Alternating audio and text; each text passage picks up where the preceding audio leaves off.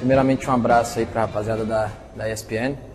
É, cara, o gol, né? Tomamos o, tomamos o terceiro gol faltando um minuto para acabar e o time deles ficaram eufóricos e aí o goleiro foi comemorar com o zagueiro lá fora da área e não sobrou outra coisa. Quando, quando eu vi que ele estava. Era o último lance, o juiz já tinha falado, já ia pitar para acabar. Quando eu vi que o goleiro estava adiantado, só pensei em bater e fui feliz. Graças a Deus consegui sair com esse golaço aí.